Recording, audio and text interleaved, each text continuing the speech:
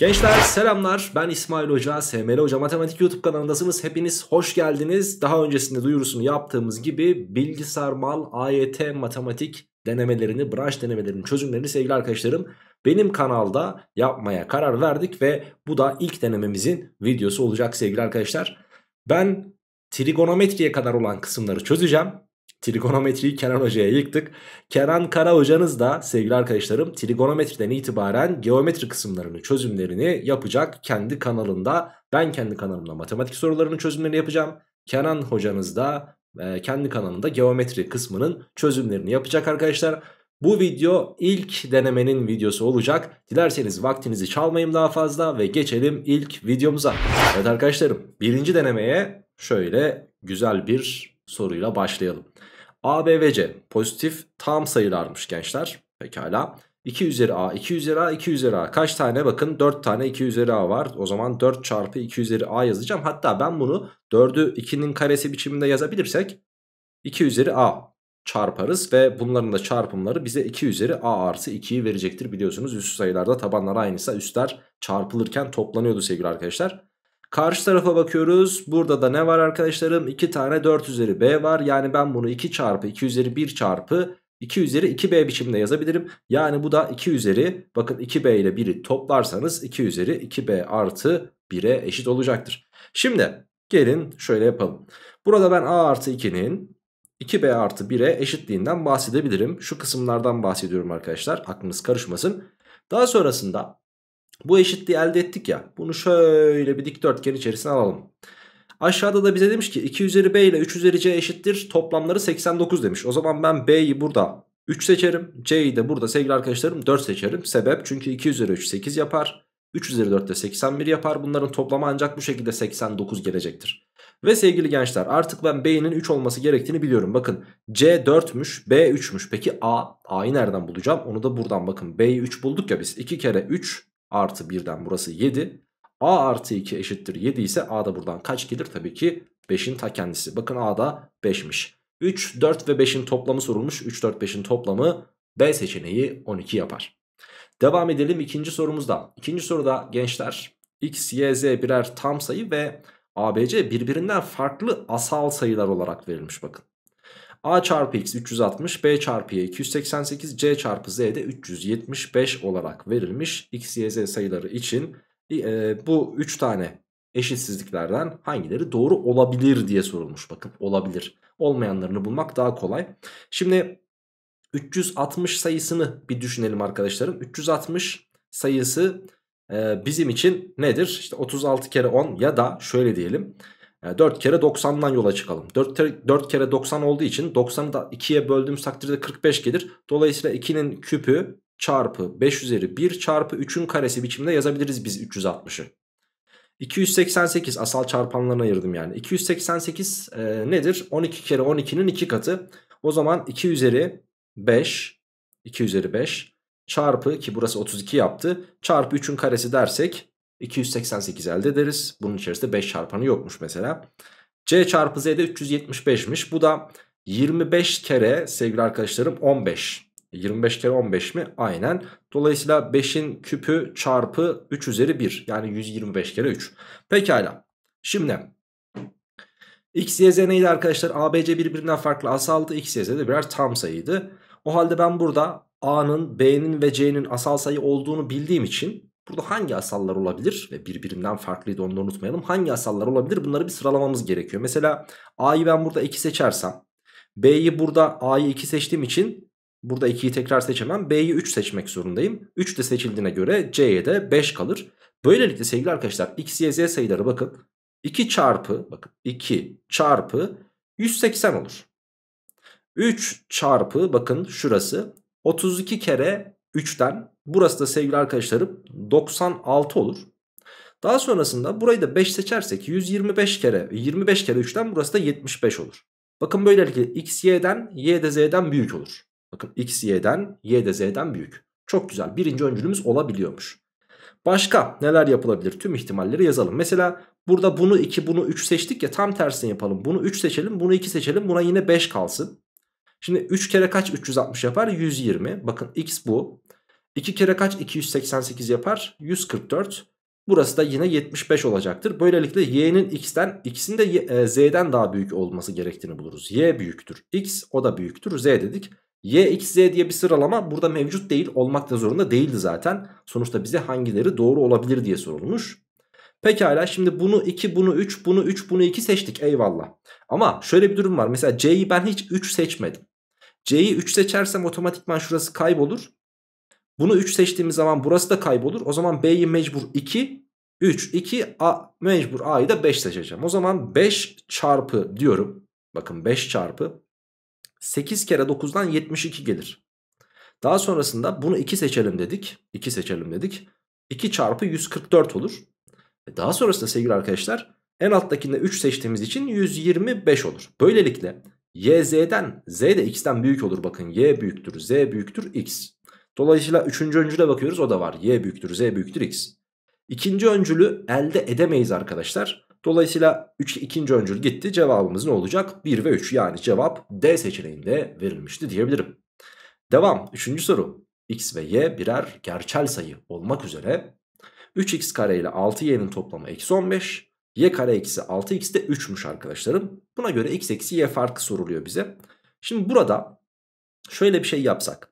Ben bunların ikisini de taraf tarafa bir güzel toplasam. Ne gelir bakın yazıyorum. 3x karemiz var. Artı hatta eksi yazayım. 6x'i bunun yanına yazalım. X'leri bir arada yazalım.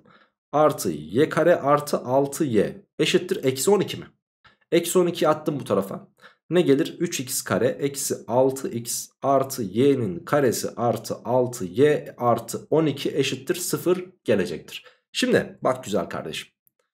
Ben şurada 3x kare eksi 6x diyor ya bunu 3 parantezine alıp x kare eksi 2x artı 1 olsa muhteşem olurdu. Çünkü burası x eksi 1'in karesi olmuş olurdu. Şu şekilde başında da bir 3 çarpanı var. Bakın 3 kere 1'den o zaman buraya bir tane 3 lazım. O 3'ü şunun içinden çaldığımızı düşünelim. Burayı 3 azaltırsam burası 9 olur artık. Geri kalan ifade de bakın y kare artı 6y artı 9 y kare artı 6y artı 9 dedim eşittir 0. Arkadaşlarım çok şanslıyız ki ya da bilmiyorum çok akıllıyız. Y artı 3'ün karesi gelmiş oldu burası da. Y artı 3'ün karesi gelmiş oldu eşittir 0. Şimdi iki tane karesel ifade var ve toplamları tabii ki 0. O halde arkadaşlarım tek bir ihtimal var. Burası da 0. Burası da 0 olacak. Yani burada x 1 olmalıymış. Y de eksi 3 olmalıymış. Bizden istenen ne? x eksi y fark. Yani 1'den eksi 3'ü çıkar demiş. 1'den eksi 3'ü çıkarırsak 4 gelir. Doğru cevabımız da E seçeneğidir deriz. Evet devam ediyorum. Dördüncü soruyla iki basamaklı A doğal sayısı için A ile 48'in EBOB'u verilmiş. Bakın neymiş arkadaşlar? 8. Olduğuna göre A'nın alabileceği en büyük ve en küçük değerlerin toplamı bize soruluyor. Şimdi bunların EBOB'ları 8 ise o zaman ben A sayısını 8 çarpı n olarak yazayım. 48 sayısını da 8 kere 6 olarak yazayım. Şimdi bakın dikkat edin. Burada gençler 8 bizim ebobumuzdu. O halde başka bir ortak çarpan yoktur. Yani buradaki n ile 6 mecburen ne olmak zorunda? Aralarında asal olmak zorunda arkadaşlarım. Başka bir çarpan ortak çarpan gelmesin diye. Şimdi bunlar aralarında asalmış eyvallah. A dediğimiz şey de iki basamaklı bir doğal sayıydı. Bunu lütfen unutmayalım. Ben burada n'yi öyle güzel sayılar seçmem gerekiyor ki hem 6 ile aralarında asal olsun hem de n ile 8'i çarpınca iki basamaklı a sayısını versin. Şimdi 1'i seçemem. Yani 1'i seçerim de 1 ile 6 aralarında asal ama 1 kere 8 2 basamaklı yapmaz. 2'yi seçemem 6 ile arasında asal değil. 3'ü seçemem asal değil. 4'ü seçemem aralarında asal değil. 5'i seçerim. Dolayısıyla n'nin minimum değeri 5 olmalı. 5 kere 8 de bize 40'ı vereceği için A'nın minimum değeri sevgili arkadaşlarım 5 kere 8'den 40 gelir. Şimdi bir de en yüksek değerini bulalım. Mesela 6 seçemem çünkü 6 ile 6 aralarında asal değil ama 7'yi seçebilirim. 7 kere 8 de 56 gelir. A'nın bir değeri 56. Ama şimdi bunları toplayınca 96 şıkta da var çok güzel. Ama daha büyüğü olabilir mi? Mesela burada 7'yi seçmiştik en son. 8'i seçemem. Aralarında asal değil. 9 olmaz. 10 olmaz ama 11 olabilir. Mesela neyi 11 seçersem 11 kere 8'den 88 gelir. Ve dikkat edin bu da 2 basamaklı. O halde A'nın maksimum değeri 88'dir diyeceğiz. Çünkü daha da büyüğü olamaz. Yani arkadaşlarım Şu 56 eyvallah bir A değeridir sağlar fakat maksimum değeri değildir. Bize en küçük ve en büyük değerlerinin toplamı sorulmuştu. 88'de 40'ı toplarsanız toplamı 128 olarak bulursunuz. Doğru cevabımız C seçeneğinde verilmişti. Devam ediyorum gençler. Bir diğer sayfamdayım. 5. soru. Ardışık 3 tane doğal sayının toplamı şeklinde yazılabilen doğal sayılara üçlü sayı denir. Örnek olarak da mesela 7, 8, 9'un toplamı 24 olduğu için 24 üçlü bir sayıdır demiş. Şimdi buna göre bunlardan hangileri üçlü sayıdır diye sorulmuş. Dikkat edin gençler dikkat edin. Burada 3 tane ardışık sayıyı topladığımız için bu 3 tane ardışık sayının toplamı mecburen 3'ün katı yapmak zorundadır. Neden? Çünkü birini x, birini x artı 1, ötekini de x eksi 1 seçtiğimiz zaman bunların toplamı mecburi olarak 3x gelecektir. Hocam niye böyle seçtik? Ben x, x artı 1 ve x artı 2 seçmek istemiştim. Oysa ki e, topla onları da topla ne gelir bak 3x artı 3 gelir. E bu da 3'ün katıdır zaten. 3 parantezini alırsan x artı 1 gelir. Bakın bu da 3'ün katı. Dolayısıyla bizim bu üçlü sayılarımız aynı zamanda 3'e tam bölünmesi gerekiyor. Peki neydi 3'e tam bölünme kuralı? Rakamlarının toplamının 3'ün katı olması gerekiyordu. O zaman rakamları toplayalım biz sadece. Bakın 1, 7, 0, 1 daha 9 yapar. 3'ün katı dolayısıyla üçlü sayı olarak yazılabilir. 5, 3 daha 8, 5 daha 13. 13 3'ün katı değil. Dolayısıyla 1453 sayısı üçlü sayı değildir. 9 1 daha 10 0 daha 10 2 daha 12 12 de 3'ün katı olduğu için bu da bir üçlü sayıdır. Yani cevabımız D seçeneğinde verilmiştir diyebiliriz. Evet devam edelim 6. sorumuzda.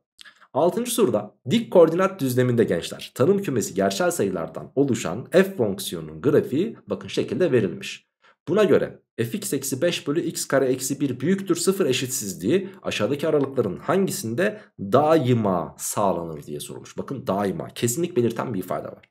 Öncelikle arkadaşlarım bir üst tarafın kökleri lazım eşitsizlik çözerken bir de alt tarafın. Alt tarafın kökleri zaten belli eksi 1 ve 1. Üst tarafın köklerinden bir tanesi sevgili arkadaşlarım bakın fx'i 5 yapan değerlerden bir tanesi burada. Hop nereye gitmiş bakın sıfıra. Bir tanesi sıfır köklerimizden diğeri de şurada bakın.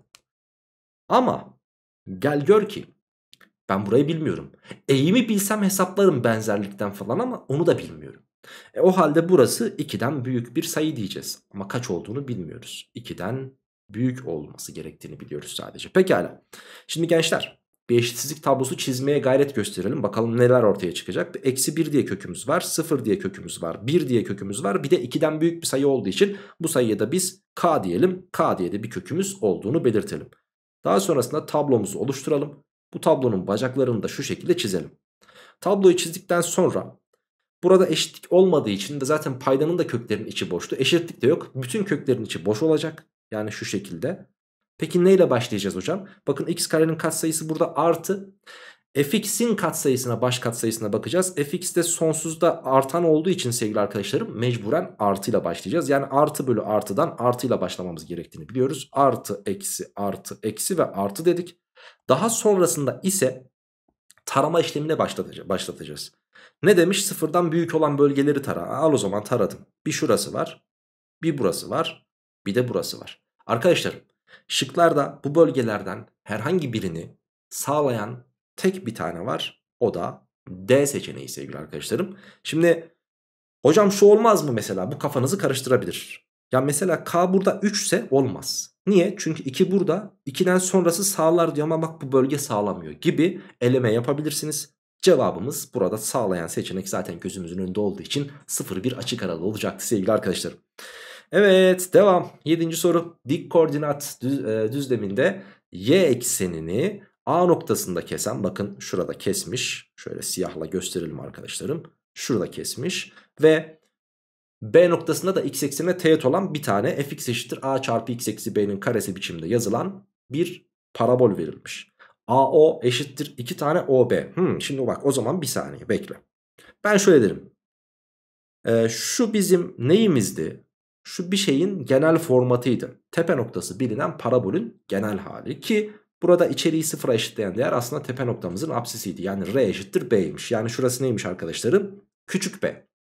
Pekala. AO uzunluğu OB'nin iki katı olduğuna göre demek ki burası ne olacak? 2B olacak.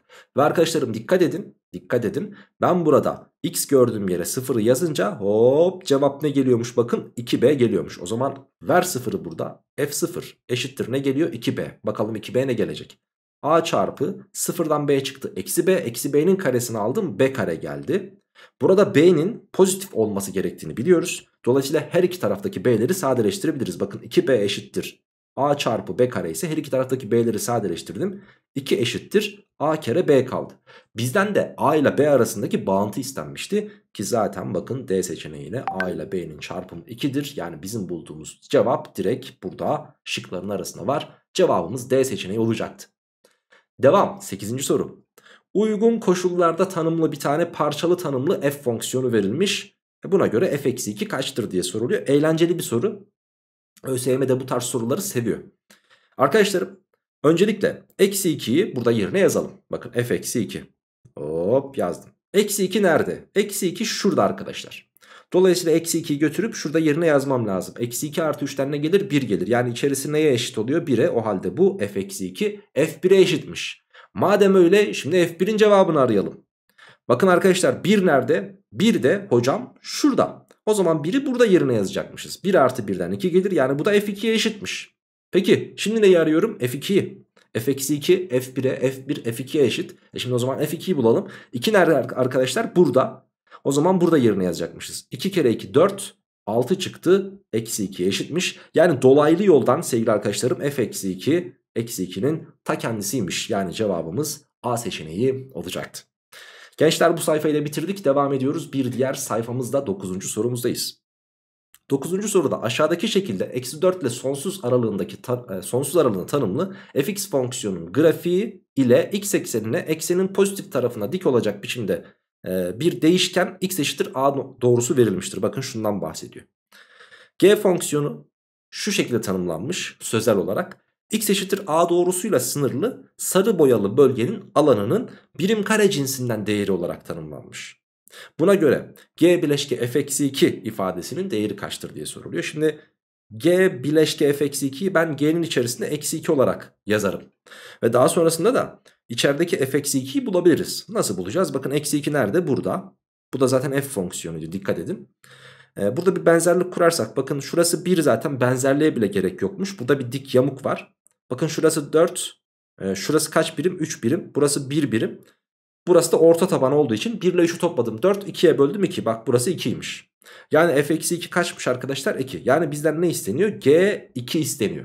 Şimdi G2 yani diyor ki buradaki A'yı 2 seç diyor. G fonksiyonu şimdi alan bulduracak ya bize. Buradaki A neymiş? 2'ymiş. O zaman ben şurayı bir temizleyeyim şimdi.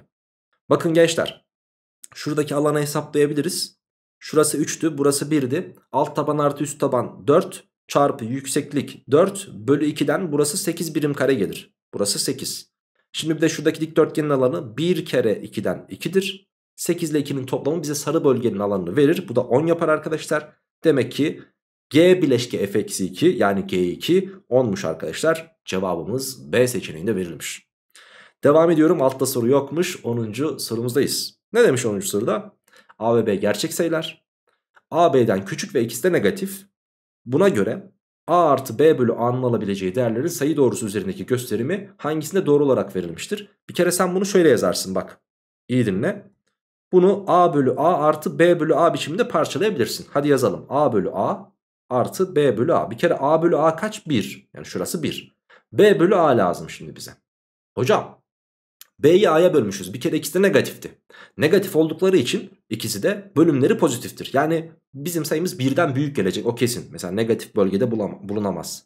Negatif bölgede bulunamaz. Birden büyük olacak. Sıfırla bir arası olamaz. Direkt kafadan iki tane şık kaldı zaten. Birisi D birisi E. Bakalım hangisi? Hocam B mutlak değerci A'dan daha küçüktür. Dolayısıyla bu bir basit kesirdir. Basit kesirler pozitif basit kesirlerde biliyorsun ki sıfır küsürlü sayılardır. Sıfırla bir arasında olduğu için. Birin üzerine bunu eklerseniz cevap bir küsür sayılardan oluşacaktır. Yani bu bir küsür sayılar da 1 ile 2 aralığındadır. 1 ile 2 aralığında olan tek şık var. O da D seçeneğidir. Devam edelim 11. soruyla. ABC pozitif tam sayılar. A eksi 2B'nin mutlak değeri B eksi 3C'nin mutlak değeri toplamı sıfırmış. E şimdi mutlak değerlerin toplamı sıfırsa o zaman bu mutlak değerler ayrı ayrı sıfıra eşittir. Yani burada A eksi 2B sıfırsa A 2B'ye eşittir.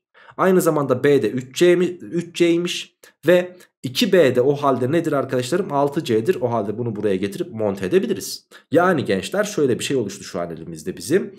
A eşittir 2B o da eşittir 6C gibi bir eşitlikten bahsedebiliriz. Şimdi burada ABC neydi? Pozitif tam sayıydı. A bölü C oranı 6'dır demiş. A'yı C'ye bölerseniz 6 gelir. Doğru. A artı B artı C toplamı en az 10'dur denilmiş. En az değerini bulabilmek için C'yi 1 seçerim. E, C 1 olursa B 3 olur. Ve A'da 6 olur. 6 artı 3 artı 1'den ne gelir? Minimum 10 gelir. Yani bu da doğru. Çarpımları da en az 24'tür demiş. Bunları çarparsanız 18 gelir. Yani 24'ten daha küçük geldi. Yani 3. öncül yanlış oldu arkadaşlar. Cevabımız 1 ve 2'ymiş diyebiliriz. Doğru cevap C seçeneğiydi. Ve arkadaşlarım devam ediyorum. 12. soruyla bir sembolik mantık sorusu. Son yıllarda ÖSYM'nin vazgeçemediği e, konu. X, Y, A ve B ki neden vazgeçsin? Bence sormaya da devam etsin. X, Y, A ve B tam sayılar olmak üzere bize 3 tane önerme verilmiş.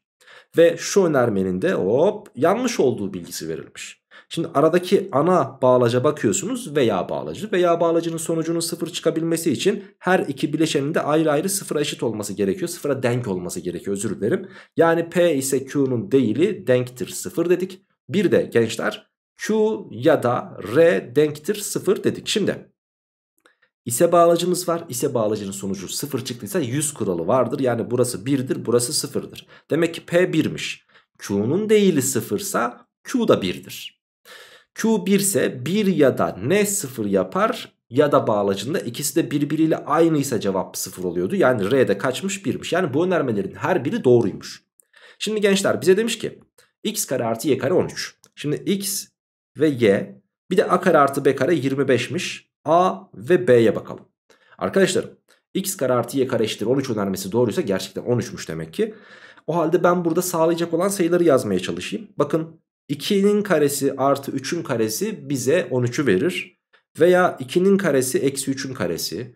Veya e, eksi 2'nin karesi ve işte ne diyebiliriz? 3'ün karesi. Veya eksi 2'nin karesi ve eksi 3'ün karesi. Veya eksi 2'ye gerçi onu yazdık. Başka bir şey kaldı mı? Kalmadı. Zaten 4 tane durum vardı.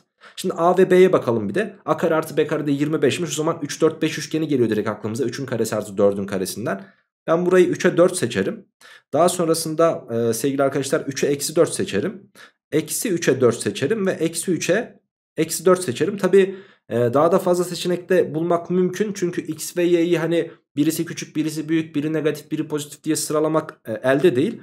E, bir de bunların tersleri olabilir. Yani şöyle 3'e 2, e, eksi 3'e 2, 3'e eksi 2 ve eksi 3'e eksi 2 diye de sıralayabiliriz. Aynı şekilde bunları da yapabiliriz arkadaşlar. Bakın 4'e 3, eksi 4'e 3, 4'e eksi 3 ve eksi 4'e eksi 3 diye yerlerinde değiştirebilirsiniz.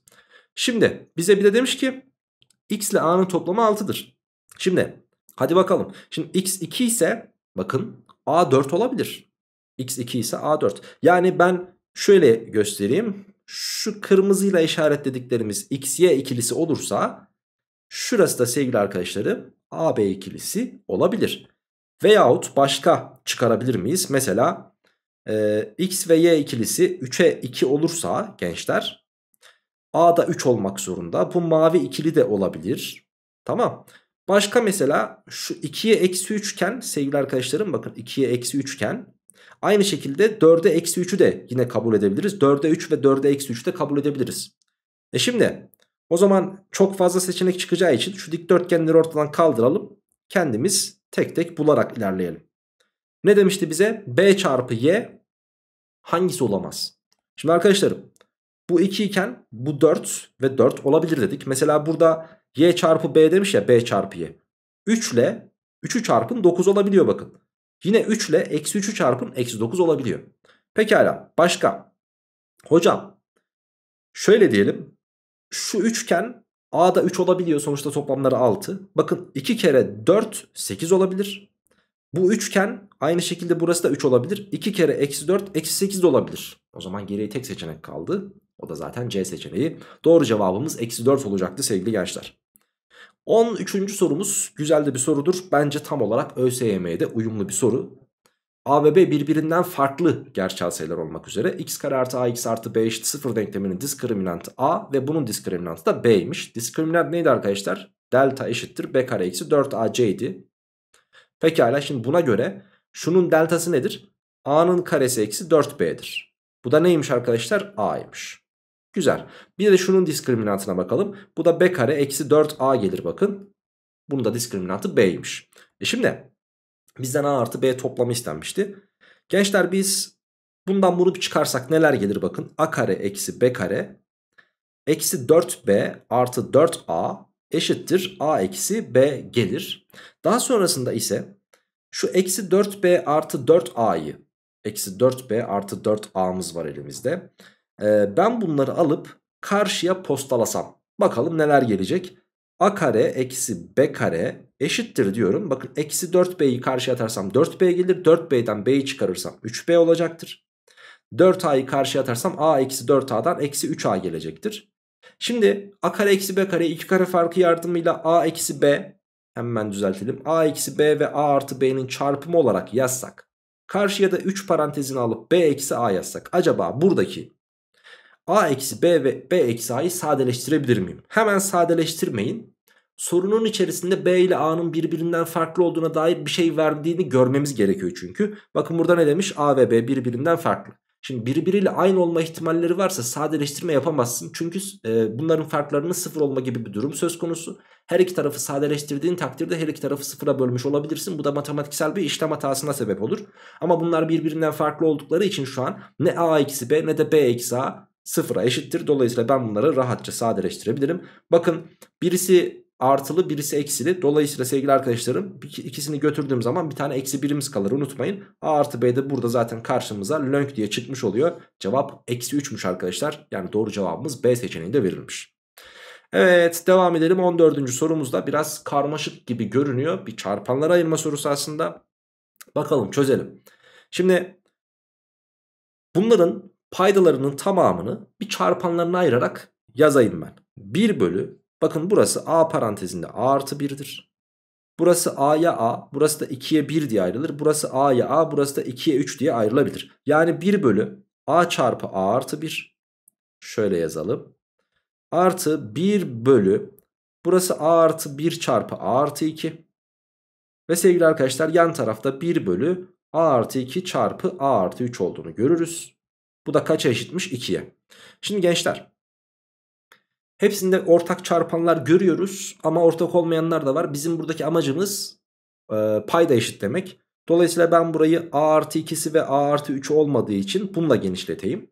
Burayı a'sı ve a artı 3 olmadığı için bununla genişleteyim. Burası da a ve a artı 1 olmadığı için bununla genişletelim. Şunu şurayla çarparsanız arkadaşlar e, neler gelecektir bakın. A kare artı 5a artı 6 gelecektir. Daha sonrasında artı bunu burayla çarparsanız a kare artı 3a gelecektir. Paydalar eşit olacağı için zaten amaç oydu. E, tek düze halinde yazabiliyorum. Bununla bunu çarparsanız da a kare artı a gelecektir. Daha sonrasında kesir çizgimizi atalım. Alt kısımda neler oluştu bakın. a çarpı a artı 1 çarpı a artı 2 çarpı a artı 3'ümüz oluştu. Çok güzel. Şimdi bakın a kare a kare a kare daha kaç yapar? 3 tane a kare yapar. 5a 3a a daha ne yapar? 9a yapar. Ve sonunda da bir tane altımız mevcut. Şu. Bölü diyorum. Alt kısımda da yine a çarpı a artı 1 çarpı a artı 2 çarpı a artı 3'ümüz mevcut sevgili gençler. Şimdi şunun hepsini 3 parantezine alsak a kare artı 3a artı 2 gelse ve a kare artı 3a artı 2'nin de biz zaten bakın şurada çarpanları ayırmıştık. 3 çarpı a artı 1 çarpı a artı 2 olması gerektiğini biliyoruz. Burada a artı 1 ve a artı 2 a artı 1 ve a artı 2 birbirini götürürse 3 bölü a çarpı a artı 3 ne yapar? a kare artı 3a yapar. Bu da kaçmış arkadaşlarım 2. Bizden ne isteniyordu? 3 bölü a kare artı 3a isteniyordu. Yani zaten bizim bulduğumuz şeyi istiyormuş. Doğru cevabımız nedir o halde? 2'ymiş sevgili arkadaşlar. Sorunun cevabı zaten burada gizli olarak verilmiş bize. Devam edelim 15. soruyla. Şimdi bu soruda da gerçel katsayılı ve baş katsayısı eksi 1 olan 4. dereceden bir px polinomunun grafiği y eksenine göre simetriktir. Şimdi y eksenine göre simetrik olan fonksiyonlar aslına bakarsanız çift fonksiyonlardı biliyorsunuz. Çift fonksiyonların içerisinde kuvveti tek sayı olan hiçbir sevgili arkadaşlarım terim bulamazsınız. X'in kuvvetleri tek sayı olamaz. Şimdi P-1 ve P4'ün sıfıra eşit olması gerektiğini söylediyse bize demek ki bu e, polinomun içerisinde bir kökümüz eksi 1 olduğu için x artı 1 diye bir çarpanımız. Bir kökümüz 4 olduğu için de x eksi 4 diye bir çarpanımız mecburen olacaktır. Şimdi arkadaşlar bunu sakın unutmayın aklınızda bulunsun sizin de karşınıza çıkabilir. Eğer bu şekilde çift bir fonksiyon elde ettiyseniz bizim çarpanlarımızdan bakın şunun hani eşleniği değil de eşleniği gibi olan x eksi 1 diye de bir çarpanımız olması gerekiyor. Bunun da x artı 4 diye bir çarpan olması gerekiyor. Neden? Çünkü x terimi istemiyoruz. Yani kuvvetli tek olan x'i terim istemiyoruz. Şu ikisini çarparsanız x kare eksi 1 gelir. Şu ikisini çarparsanız da x kare eksi 16 gelir. Ve böylelikle bunları da dağıttığınız takdirde kuvveti tek olan bir x bulamazsınız. Yani bizim polinomumuz buymuş ama baş katsayısı eksi 1 dediği için başına da bir tane şöyle eksiği konduracaksınız. İşte size polinom hayırlı uğurlu olsun. Bizden istenen neydi? P2 o halde artık yerine yazalım. P2 eşittir. Eksiyi unutmayın. 2'nin karesinden 1 çıkardınız 3. 2'nin karesi 4 16 çıkardınız eksi 12. Bunların çarpımı da bize 36'yı vereceğinden cevabımız E seçeneği olacaktı. Evet 15. sorumuzda çözdük ve devam ediyoruz 16. sorumuzda. Evet yine güzel bir polinom sorusu arkadaşlar. Px polinomuyla ilgili olarak aşağıdakiler bilinmekte. Şimdi derecesinin 2 olduğunu bize söylemiş. Baş katsayısı da 1'miş arkadaşlar. Ve diyor ki bakın Px artı 1 polinomunun x eksi 2 ile bölümünden kalan P1'dir. Şimdi burayı sıfıra eşitleyen kök x eşittir 2'dir ve biz bu x eşittir 2'yi alıp şurada yerine yazıyorduk. Yani burası P3 geliyor arkadaşlar. Bu P3 neye eşit oluyordu? Kalana. Kalan neymiş? P1. Şimdi gençler bakın. Bu bir polinom eyvallah. Ama bu polinom sevgili arkadaşlarım ikinci dereceden olduğu için aynı zamanda bir parabol belirtir bize. Ve bu parabolde P3 ile P1 birbirine eşitse işte bunların tam arasında kalan görüntü yani P2 sevgili arkadaşlarım 1 ile 3'ün tam ortasındaki P2 bize neyi verir? Tepe noktasının koordinatlarını verir. Tepe noktasının ordinatını verir daha doğrusu. Pekala yani 2'ye P2 tepe noktasıymış. O halde arkadaşlar biliyorsunuz ki parabollerin de aynı zamanda tepe noktaları simetri eksenleriydi. O halde sevgili arkadaşlarım bizim bu e, parabolümüz ya da polinomumuz 2'ye göre simetrik bir polinommuş. Px eksi 2 polinomunun sabit terimi sorulmuş. Sabit terim sorulduğu zaman x gördüğümüz yere 0 yazıyorduk. Nerede? İşte burada yazacağız onu da. Yani diyor ki p eksi 2 kaça eşittir? Şimdi gençler 2 bizim tepe noktamızın apsisiydi. Eksi 2 bunun solunda kalır. Ne kadar solunda kalır? 4 birim solunda kalır. 4 birim sağında ise 6 vardır. Dolayısıyla P eksi 2 P6'nın ta kendisidir. O halde cevabımız D seçeneği olacaktı diyebiliriz. Evet devam edelim 17. sorumuzda. Arkadaşlarım 17. soru bir küme sorusu. Okuyalım bakalım. X, N ne demekmiş? Birden n'ye kadar olan ardışık tam sayılar tam sayıları eleman olarak kabul eden n elemanlı bir küme olmak üzere. Mesela x1 1, x2 nedir? 1'den 2'ye kadar olan elemanlar. x3 nedir? 1'den 3'e kadar olan elemanları kapsayan küme. xn de 1'den n'e kadar olan e, küme. Pekala. Şimdi demiş ki bize x4 kümesinin herhangi iki ardışık sayı içermeyen alt küme sayısı. Şimdi x4 kümesi nedir arkadaşlarım? Hemen yazalım. x4 1, 2, 3 ve 4 elemanlarından oluşur. Ve bunun normalde 16 tane alt kümesi vardır. 16 tane alt kümemiz var. Pekala. Bunun diyor herhangi iki ardışık e, sayı içermeyen alt küme sayısı. Şimdi ardışıklar hangileri? Mesela 1 ile 2 veya 2 ile 3. 2 elemanları yazıyorum önce. 3 ile 4. Burada 3 tane var. Peki 3 elemanlı olup da ardışık eleman içerenler hangisi? Mesela 1, 2 ve 3. Veya 1, 2 ve 4. Veya gençler 1, 3 ve 4. Veya 2, 3 ve 4. 4 taneymiş. Bir de 4 elemanılar. E 4 elemanı zaten bir tane alt kümesi var. O da zaten ardışık elemanlar içermek zorunda. Yani biz o bu 16 tane alt kümenin içerisinden sevgili arkadaşlarım şuradaki 8 tanesini çıkarmamız gerekiyor. 16 eksi 8 8 tane yapar. Demek ki arkadaşlarım bu A sayısı 8'miş. Güzel.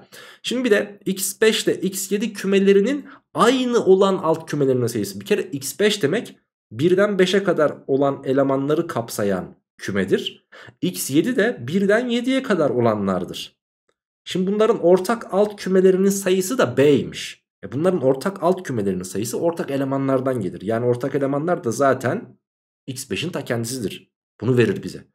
E bunun kaç tane alt kümesi var? 2 üzeri 5'ten 32 tane. Demek ki sevgili arkadaşlarım B'de kaçmış? 32'ymiş. Bizden istenen ne peki? B eksi A farkı. 32'den 8'i çıkarırsanız Edirne seçeneğini bulabiliriz. Evet devam ediyorum 18. soruma sağ üst tarafta. Bakın yine çok güzel bir soru. A ve B iki tane küme. Şu işlem sevgili arkadaşlarım A fark B birleşim B fark A'ymış. Buna da simetrik fark kümesi diyoruz. Aslına bakarsanız bunu görsel olarak ifade edelim. Şöyle yapalım ve bir de şöyle yapalım gençler. Bakın şurası A kümesi ve burası B kümesi ise A fark B kümesi şuradaki ay parçasıdır. Şu kısım. Diğer kısımda arkadaşlarım tersine olan ay parçasıdır şu.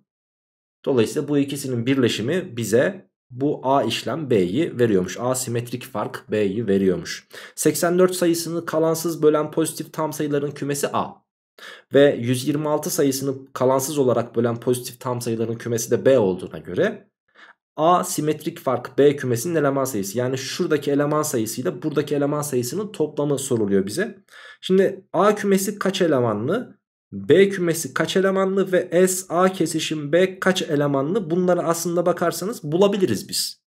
Nasıl buluruz? Bunda diğer matematiksel işlemleri kullanacağız. Yani aslına bakarsanız bir küme sorusu fakat arkadaşlarım kümeden daha çok kümeden ziyade diğer temel kavramlar olan kısımdan e, kazanımları uygulayacağımız bir soru olacak. Öncelikle A kümesinin eleman sayısını ben nasıl bulurum? Yani 84'ü pozitif 84'ün pozitif tam sayı bölen sayısı. 84 dediğimiz şey sevgili arkadaşlarım aslına bakarsanız 2'nin karesi çarpı 3 çarpı e, 7'dir. 126 dediğimiz sayı da 7 kere 9 olduğu için 2 çarpı 3'ün karesi çarpı 7'dir arkadaşlar. Pekala. Şimdi bunun sayısını nasıl buluyordum? Üstlerini 1 artırıp çarpıyordum. Yani 3 çarpı 2 çarpı 2'den 12 tane elemanı varmış A, A kümesinin. B kümesinin de yine 2 çarpı 3 çarpı 2'den yine 12 tane elemanı varmış. Peki A kesişim B'nin yani hem 84'ü hem 126'yı bölen. Bunlar da sevgili arkadaşlarım önce bakın başka sorularda da ihtiyacınız olabilir. Önce EBOB'unu buluyorsunuz. Bakın burada EBOB'ları bulunurken ne yapıyorduk? Küçük olanları alıyorduk. Üstü küçük, üstü küçük olanları alıyorduk. Bunu, bunu ve 7'lerden herhangi bir tanesini. Bunların üstlerini 1 artırıp çarpın. Bakın bunun üssü 1'di 2. Bunun üssü 1'di 2. Bunun da üssü 1'di 2. 2 çarpı 2 çarpı 2'den 8 tane elemanı varmış A kesişim B'nin. Yani şurası 8 elemanlı. A kümesi 12 elemanlıydı buraya 4 kalır. B kümesi de 12 elemanlıydı buraya da 4 kalır. Bizden ne istenmişti? Bu sarı bölgedeki eleman sayılarının toplamı. Yani 4 artı 4 8'i istemişler arkadaşlar. Doğru cevabımız C seçeneği olacaktı. Devam ediyorum 19. soruyla. Bir logaritma sorusu aynı zamanda fonksiyonda harmanlaşmış, harmanlanmış bir soru.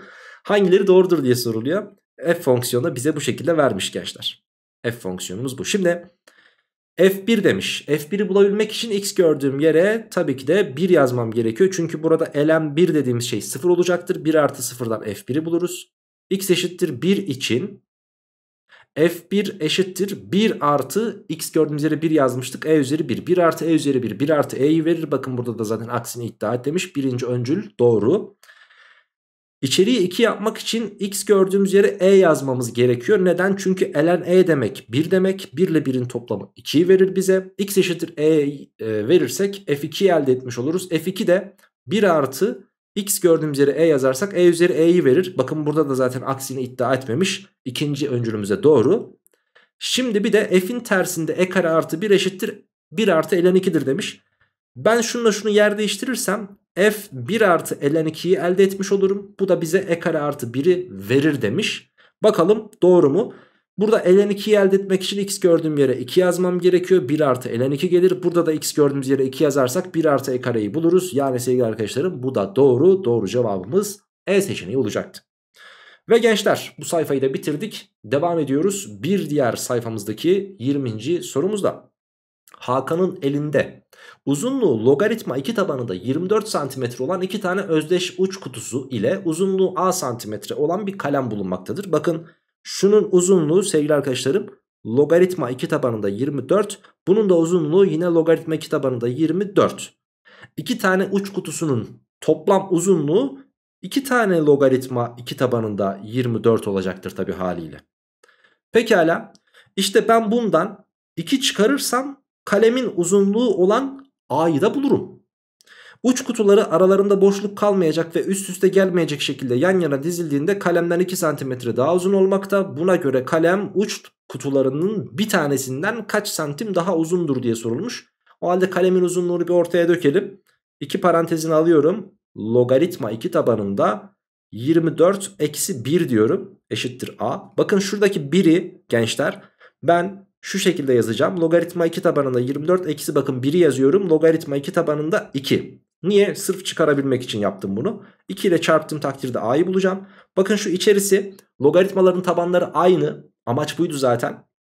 Çıkardığımız için içleri bölünür ve deriz ki hocam burası logaritma 2 tabanı da 24 bölü 2'den 12 gelir. Bir de başında 2 çarpanı vardı bu da neymiş arkadaşlar a. Yani ben bunu logaritma 2 tabanında 144 olarak yazabilirim. Neden 144 diye yazdınız hocam o nereden geldi? 2'yi aldım 12'nin kafasına koydum bu şekilde 12'nin karesi de 144 yaptı. Pekala bu ne? Kalemin uzunluğu. Şimdi diyor ki kalemin uzunluğu logaritma 2 tabanında 144. Uç kutularından bir tanesinden yani şunlar ne kadar uzundur diye sorulmuş. Logaritma 2 tabanında 24'ü çıkarırsak cevabı buluruz. Yine çıkarmışız bakın ne yapacağız? Böleceğiz. Yani logaritma 2 tabanında 144 bölü 24 yapacağız. Bu da bize logaritma 2 tabanında 6'yı verecek arkadaşlar. Bu da bize doğru cevabı verir. Doğru cevap C seçeneği olacaktı. Evet devam. 21. sorumuz. Az kaldı.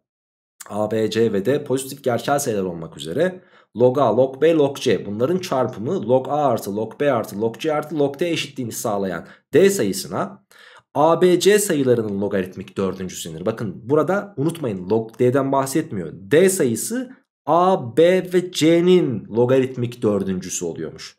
Birbirine eşit 3 tane sayı. Gelin biz bunlara A diyelim. Bu 3 sayının logaritmik dördüncüsü de 0.01'miş. 0.01 demek 10 üzeri eksi 2 demektir biliyorsunuz. Bu sayılardan birinin alabileceği farklı değerlerin çarpımı soruluyor. Şimdi arkadaşlarım ben bu birbirine eşit olan 3 tane sayıyı a olarak seçersem logaritma a çarpı logaritma a çarpı logaritma a eşittir logaritma a artı logaritma a artı logaritma a artı logaritma 0.01 yani 10 üzeri eksi 2 derim. Şu kısım bize neyi verir? Logaritma a'nın parantez kübünü verir arkadaşlar. Eşittir diyorum. Şu kısım nedir? 3 tane logaritma a'dır. Şunu da eksi 2'yi başa atarsanız eksi 2 logon eksi 2 verir bize. Şimdi uğraşmamız gereken yer işte burası. Başka bir yer değil. O halde ben logaritma a'nın kübü diyorum bakın. Tamam. Şunları da sol tarafa fırlatıyorum. Eksi 3 tane logaritma a ve artı 2 eşittir 0 diyorum. Bunları dedik. Peki hocam logaritma a'yı mesela ben burada x seçsem x küp eksi 3x artı 2 eşittir 0 denklemine göre katsayılarına bakıyorsunuz. Katsayılar toplamı bunun aman Allah'ım 1 geliyor. O halde arkadaşlarım demek ki x eşittir 1 bu denklemi sağlıyormuş. x eşittir 1 sağlıyor. x eşittir 1 sağlıyorsa bu denklemin x eksi 1 diye de bir çarpanı olması lazım. Gelin x küp eksi 3x artı 2'yi x eksi 1'e bölelim ve diğer çarpanı bulalım. x kare defa vardır. x küp eksi x karedir. Çıkardım x kare eksi 3x artı 2 geldi. x defa vardır x kare eksi x gelir. Çıkarırsanız eksi 2x artı 2 gelir. Ve sevgili arkadaşlarım eksi 2 defa vardır diyelim. Eksi 2x artı 2 gelir. Çıkardınız 0 geldi. Yani benim bir çarpanım x eksi 1. Diğer çarpanım da sevgili arkadaşlarım x kare artı x eksi 2'ymiş. Bakın burası x eksi 1'di zaten. Burayı x'e x ve artı 2'ye eksi 1 diye açarsanız x eksi 1 çarpı x artı 2'miz varmış. Ve benim bir köküm zaten 1'di. E buranın da kökü 1. Farklı bir kök gelmiyor. Diğer kökümde burada kaçmış bakın? Eksi 2'ymiş. Yani o zaman x burada bir 1 bir de eksi 2 oluyormuş. x dediğim şey neydi benim? Aha da burada bak logaritma a. Demek ki logaritma a ya 1 olacak ya da logaritma a eksi 2 olacak. Buradan bu logaritmanın tabanı kaç? 10 hocam.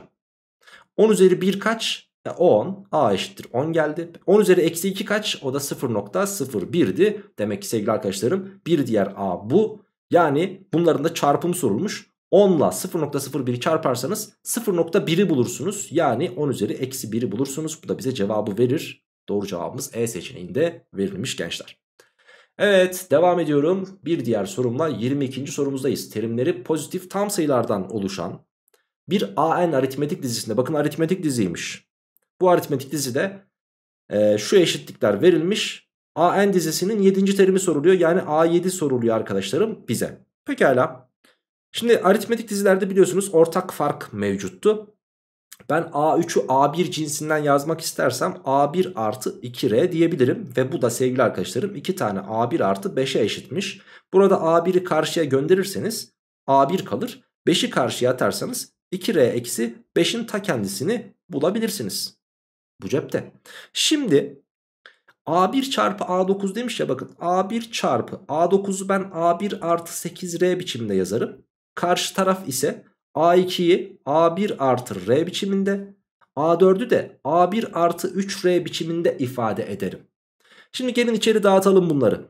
A1'in karesi artı 8R tane A1 eşittir. Burayı dağıtırsanız A1'in karesi artı 4R tane A1 artı 3R kareyi bulursunuz. Şimdi ise şunu yapacağız. A1'in kareleri her iki tarafta da bulunduğu için gittiler. Çok güzel. Şuradaki 4RA1'i şu tarafa atarsanız 8RA1'den 4RA1 çıkarsa 4R çarpı A1 kalır. Eşittir bu da 3R kareymiş. Yani gençler şuradaki R ile buradaki R'nin bir tanesini götürürsem 4 tane A1 eşittir 3 tane R olduğunu da tabii ki görürüz. Şimdi bir de elimizde bizim ne vardı? Şurası. Yani arkadaşlarım A1 eşittir 2R eksi 5 vardı. E peki bunu nasıl kullanırız? Bunu da şu şekilde kullanacağız. Hemen arkadaşlar A1'i 3R bölü 4 diye yazacaksınız. Bunu yazdıktan sonra da getirip A1 gördüğünüz yere bunu monte edeceksiniz. 2R eksi 5 eşittir 3R bölü 4 dediniz. Daha sonrasında içler dışlar yaparsanız 8R eksi 20 eşittir 3R olur. 5R eşittir 20 gelir. R buradan kaç gelir? 4. R'yi bulduk ya yapıştırın A1'i de bulursunuz. Nasıl? Bak şurada mevcut. R gördüğün yere 4'ü yaz. 4'ler gitsin. A1 kaçmış? O da arkadaşlarım 3'ün ta kendisiymiş. Bizden istenen 7. terimdi. 7. terim isteniyorsa ben bunu A1 artı 6R biçimde yazarım. 7. terimde A1'im 3'tü.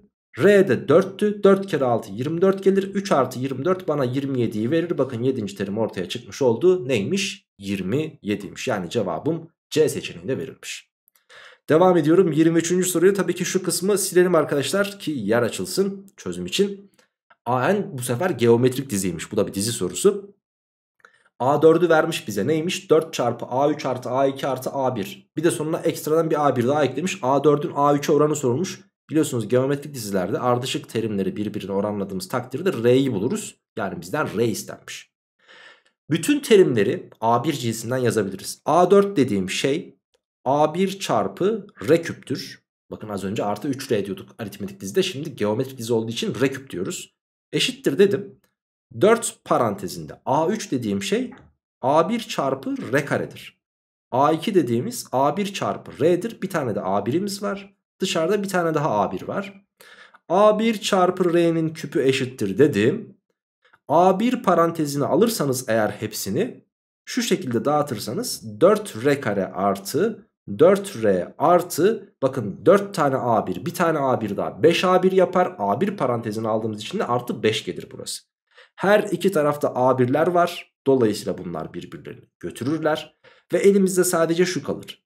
R küp eşittir 4R kare artı 4R artı 5'imiz kalır sevgili gençler. Şimdi hocam ne yapacağız? Hepsini alın sol tarafa bir gönderin bakalım. R küp eksi 4R kare eksi 4R eksi 5 eşittir 0 dediniz. Şimdi burada burada R dediğimiz şey ne olabilir? Ya da üstteki denklemi kullanırsanız daha da rahat görebilirsiniz arkadaşlar. R dediğimiz şey burada bakın küpü alınmış 4 katının 4R fazlası eklenmiş bir de 5 eklenmiş. Şuradaki 5 bize bitiyor vermesi lazım. R'yi eğer 5 seçerseniz R küpü 125 yapar. 4R kare 100 yapar. 4R 20 yapar bir tane de 5 eklerseniz 125 eşittir 125 olduğunu görürsünüz. R kaçmış 5. E bizden ne isteniyordu hocam? R isteniyordu. O halde cevap E seçeneği olacaktı diyebiliriz. Evet arkadaşlarım bu sayfayı da bitirdik ve devam ediyorum 24. sorumla. Bu bir seçim sorusu yani kombinasyon sorusu. Bir banka müşterilerinden şifre oluşturmak için aynı rakamları bakın aynı rakamları en fazla 2 defa seçmek şartıyla 3 tane rakam seçmelerini istiyor. Buna göre bir müşteri kaç farklı seçim yapabilir? Şimdi hepsi birbirinden farklı olabilir diyor. A, B, C gibi ya da en fazla ikisi aynı olsun diyor. Yani A, A, B gibi. O halde arkadaşlar üçü birbirinden farklı olacaksa ve seçim yapmamı istiyorsa sadece yani sıralamamı istemiyorsa kaç tane rakamım var benim? 10 tane. O zaman 10 tane rakamdan herhangi 3 tanesini seçebilirim. Ve bu da bana zaten 120'yi verir. Artı şimdi iki tane rakam birbiriyle aynı olacak. Bir tanesi de tek başına diğerlerinden farklı olmak zorunda. Buradaki A'yı ben 10 rakamdan birini seçerim. Buradaki B'yi de geriye kalan 9 rakamdan birini seçerim. Ve böylelikle 90 tane daha seçimim meydana gelir. Ve toplamda da 210 tane farklı seçim yaptırabiliriz biz bu müşteriye. Cevabımız D seçeneğiydi. Devam ediyorum. 25. soruya bir binom sorusu. Binom kolay gibi görünse de aslına bakarsanız ÖSYM'nin vazgeçmediği ve bana göre benim tahminimce standart sapması da yüksek olan bir soru. Çünkü öğrenciler binom çok kolay hocam zaten sınava son bir haftada bakıp girsek de zaten bir şey olmuyor değişmeyecek zaten yaparız diye girip sınavdan çıktıktan sonra hocam binomu boş bıraktım diyen çok öğrenci duydum. Dolayısıyla arkadaşlarım binom çalışması 15 dakikalık bir konu ama o 15 dakikayla bütün denemelerde ve Allah'ın izniyle sınavda da e, net, net olarak artı bir net kazanabileceğiniz bir konu bence es geçmeyin. A ve B gerçel sayılar olmak üzere a bölü bx artı bx kare bölü a'nın küpü ifadesinin açılımında oluşan sabit terim 6 olduğuna göre a bölü b oranı kaçtır diye soruluyor. Şimdi gençler burada sabit terimi yakalamak için bakın burada ne var? Şu birinci çarpan birinci ifadede ne var? x üzeri eksi 1 var. Burada ne var? x kare var. Şimdi ben bunların kuvvetlerini alıp alıp çarpıyordum ya. Ben bunların kuvvetlerini öyle bir şey yazmam gerekiyor ki Bunları çarptığım takdirde x üzeri 0 gelsin ve toplamları da 3 olsun. Biliyorsunuz binomda her bir terimin x'in x ve y'nin kuvvetleri toplamı bize buradaki n'yi veriyordu. O halde ben buraya 2 buraya 1 yazarsam hem toplamları 3 olmuş olur. Hem de eksi 2 ile artı 2'nin toplamı 0 olacağı için x üzeri 0'dan bize sabit terimli sabit terimin hangisi olduğunu gösterebilir. Pekala demek ki buranın ikinci kuvvetini alacağız. Şimdi ben birinci bileşenin ikinci kuvvetini almak için 3'ün birlisi diye başlıyordum olaya. Çarpı a bölü b x'in karesi çarpı bx kare bölü a'nın da birinci kuvvetini alıyordum. İşte sabit terim bu. Peki sabit terim kaçmış? 6'ymış. E çok güzel hocam. Soruyu neredeyse bitirdik. 3'ün birlisi zaten bize 3'ü veriyor. Çarpı a bölü b'nin karesinden a kare bölü b kare gelir. b bölü a'nın birinci kuvveti de b bölü a zaten. x üzeri eksi 2 ile x karenin çarpımında zaten sıfırdı. Yani x üzeri sıfırdı. Dolayısıyla sevgili arkadaşlar zaten sabit terim olduğunu biliyoruz. 3 ile 6'yı sadeleştirdim 2. Bakın şimdi şuraya direkt sorunun cevabını bulacağız. a kareyi a'ya böldüm a. b'yi b kareye böldüm burada b kaldı. A bölü B kaçmış arkadaşlar? 2. Bizden ne isteniyordu peki? A bölü B. O halde cevabımız D seçeneği de verilmiştir. Ve devam ediyorum 26. sorumla 26. sorum son sorum 27. soruda trigonometri başlıyor ve Kenan Kara e, Kenan Kara ile geometri YouTube kanalında Kenan hocanız sizler için sevgili arkadaşlarım geometrinin çözümlerini yaptı. 27. sorudan sonra Kenan hocadasınız. Ben 26. sorumda çözüp videoyu noktalayalım. 10 birim kareden oluşan aşağıdaki şekilde bu birim karelerden 4 tanesi sarı renge boyanmış hali hazırda. Bu birim karelerden 5 tanesi de rastgele seçilip mavi renge boyanacaktır ve sarı renkte mavi rengin birleşiminden yeşil renk oluşuyor demiş. Boyama işlemi sonucunda birim karelerden sadece ama sadece bir tanesinin yeşil renkte olma olasılığı kaçtır diye soruluyor. Şimdi istenen durum bu 4 tane sarıdan bir tanesinin maviye boyanıp onun yeşile dönmesi. Dolayısıyla 4 tanesinden herhangi bir tanesini 4'ün birlisi biçimde seçerim. Şu an bir tanesini maviye boyadım. Artık başka maviye boyayamam bu sarılardan. Geriye de bakın 3, 2, 1 daha 6 tane sevgili arkadaşlarım. Ne kaldı? Boş kare kaldı. Bu 6 tanesinden de 4 tanesini seçip boyayacağım. İşte istenen durum bu. Tüm durum ne peki? Tüm durum burada kaç tane kare var toplam? 10 tane. 10 tanesinden herhangi 5 tanesinin seçilip boyanmasıdır. İşte cevap bu. Ama tabii bunu yapmamız gerekiyor. E, işlemlerini bulmamız gerekiyor. 4'ün birlisi 4. 6'nın dörtlüsü biliyorsunuz ki 6'nın ikilisine eşit ve 6'nın ikilisi de 15. Bölü. Devam ediyorum. Onun beşlisi. Yani 10 çarpı 9 çarpı 8 çarpı 7 çarpı 6 bölü 5 faktöriyel diyecektim. O 5 faktöriyeli 5 çarpı 4 çarpı 3 çarpı 2 diye yukarı yazdım arkadaşlarım tamam mı? Şimdi gelin gerekli sadeleştirmeleri yapalım. Bakın 6 kere 10 60 yapar. 4 kere 15 de 60 yapar. Daha sonrasında 2 kere 4 8 yapar bu da gitti. 3 ile ve 3 ile sadeleştirdim burada 3 kaldı. Yukarıda sadece 5 kaldı arkadaşlarım. Alt kısmında da 3 kere 7'den 21'imizin kaldığını görürüz. Doğru cevabı bize verdi bile. 5 bölü 21 yani B seçeneği bizim cevabımız olacaktı. Evet gençler matematik kısmının çözümlerini bu şekilde birlikte yapmış olduk. Umarım çözümler anlaşılmıştır. Umarım açıklayıcı e, bir şekilde detaylı olarak anlatabilmişimdir ve aklınızda herhangi bir soru işareti bırakmamışımdır diye umuyorum. Sonraki denememiz ikinci deneme. İkinci denemede görüşürüz gençler. Hoşça kalın, sağlıkla kalın ve tabii ki bol bol matematik çalışmayı da lütfen unutmayın.